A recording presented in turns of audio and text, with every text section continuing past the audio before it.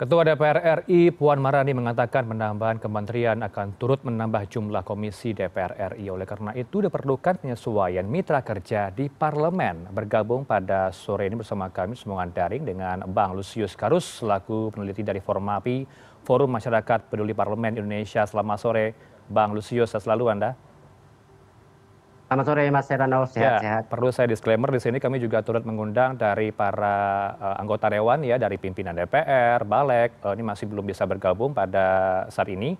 Uh, Bang Lusius, kalau dari kacamata Anda sendiri ini bagaimana ya? Uh, apakah jumlah kementerian ditambah akan linear dengan jumlah komisi di DPR? Ini uh, logikanya seperti apa? Ya, uh, logikanya sih mestinya uh, jumlah komisi di dpr itu menyesuaikan memang dengan uh, jumlah kementerian atau lembaga hmm. yang akan dibentuk uh, oleh presiden terpilih nanti gitu ya. Karena itu uh, saya kira memang menunggu kepastian soal berapa nanti kabinet atau kementerian yang akan dibentuk oleh presiden terpilih Prabowo Gibran gitu ya. Uh, dan dari situ nanti kemudian uh, DPR akan mempertimbangkan apakah penambahan kementerian baru misalnya di pemerintah itu uh, harus kemudian berdampak pada penambahan jumlah komisi yang ada di DPR ya. Hmm. Tapi uh, sifatnya saya kira uh, fleksibel memang uh, jumlah komisi di DPR itu menyesuaikan dengan jumlah kementerian atau lembaga yang uh, akan menjadi mitra dari DPR dalam uh, apa periode mendatang gitu ya. Hmm. Baik, kalau kita kumpulkan ya, kita hitung-hitung kalau presiden jokowi eh, maruf amin ini kan 34 pos kementerian dengan 11 komisi di dpr kalaulah nanti potensi 40 kementerian di kabinet prabowo gibran jumlah 11 akan bertambah menjadi di angka 20 mungkin? Bang lusius?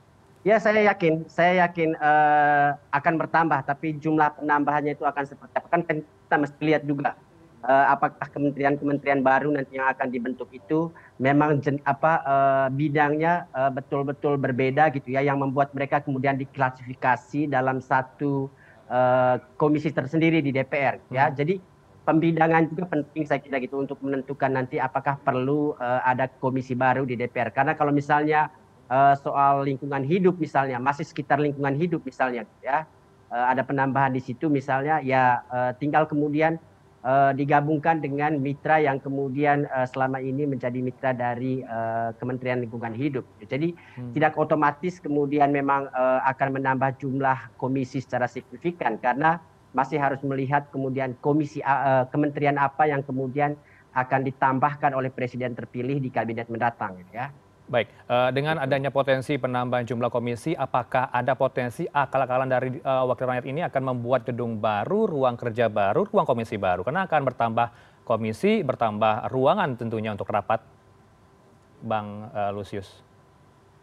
Ya, selalu terbuka sih kemungkinan. Cuman kan tahu juga bahwa DPR ini mesti juga harus siap-siap pindah ke ibu kota negara baru gitu ya. Hmm. Jadi Uh, mungkin nanti eksekusinya itu di gedung parlemen baru di ibu kota negara baru hmm. kalau nanti uh, ini jadi dilakukan gitu ya kita kan belum tahu nih uh, jadi saya kira sih efek domino efek domino dari uh, perubahan yang uh, muncul akibat revisi undang-undang kementerian itu memang akan ke mana-mana gitu ya hmm.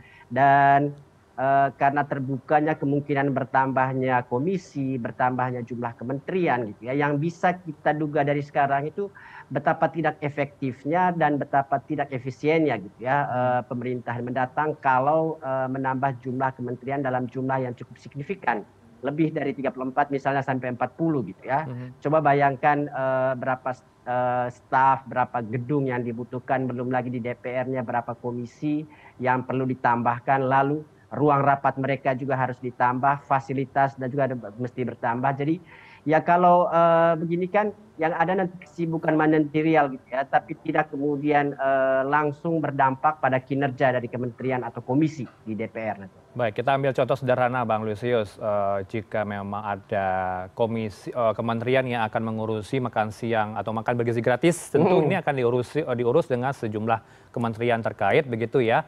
Uh, ada komisi tertentu juga di DPR. Uh, bagaimana kemudian mengakomodir kementerian pos yang baru ini di dpr nanti apakah masih bisa dengan komisi tertentu kalau pangan komisi empat makan siang gratis atau makan bergizi gratis kan komisi empat juga bisa mengurusi bang lusius betul Ya, uh, itu nanti tergantung uh, bagaimana kemudian beban kerjanya. Gitu ya. Kalau memang uh, tuntutannya itu harus ada kementerian baru untuk melakukan pengawasan, misalnya di pemerintahan ada kementerian baru terkait dengan uh, makan siang gratis ini, hmm. mungkin saja ada komisi baru juga di DPR untuk uh, langsung menjadi mitra dari kementerian yang menangani makan siang gratis itu. Hmm. Walaupun rasanya sih mestinya itu bisa ditangani oleh komisi yang menangani pangan selama ini, ya.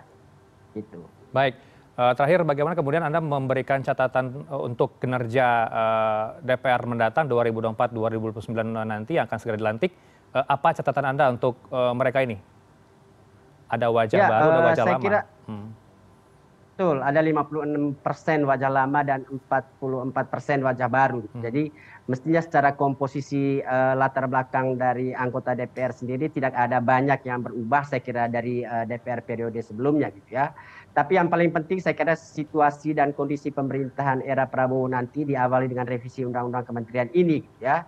Ini akan menjadi era di mana uh, hampir di semua kelembagaan akan jadi tempat untuk berbagi jatah atau berbagi kue kekuasaan gitu. Hmm. Tidak uh, terkecuali di DPR gitu.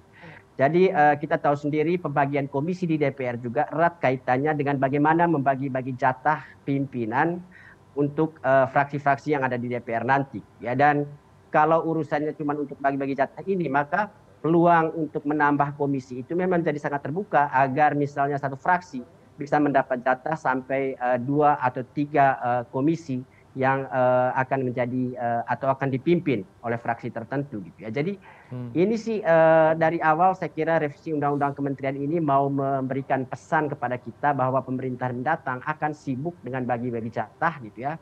Tidak sibuk dengan urusan bagaimana bekerja gitu ya dan DPR 2009-2024 ini gara-gara urusan bagi jatah ini ya mereka tidak bisa ngapa-ngapain gitu ya. Hasil 26 RUU selama 50 tahun dari 259 daftar prolegnas itu membuktikan itu. Jadi kalau mau dibilang ini DPR terburuk era reformasi, saya kira DPR 2019-2024 ini bisa uh, kita tunjukkan sebagai salah satu DPR terburuk era reformasi dari kinerjanya gitu. Dan kita ya. tidak berharap ini akan terulang gitu di periode mendatang. Walaupun dari sisi persiapan sekarang ini saya kira apa yang kemudian dialami oleh DPR sekarang hmm. itu uh, akan dengan mudah di copy paste ya oleh DPR mendatang itu karena materi fraksi-fraksinya sama kecenderungan uh, pemerintah di periode mendatang juga hampir sama gitu urusan sibuk bagi-bagi jatah aja gitu. Baik, uh, kita harapkan kinerja dari para wakil rakyat akan apa ya membaik uh, dengan semangat menambah jumlah komisi nanti di DPR RI begitu ya tidak ada polemik lagi apalagi undang-undang pilkada yang sempat di, mau direvisi sempat membuat gaduh di publik begitu ya. Terima kasih Bang Lusius Karus peneliti dari Formapi bersama kami di Newsroom. Selamat sore Bang Lusius. Ya, selamat sore Mas Adaro.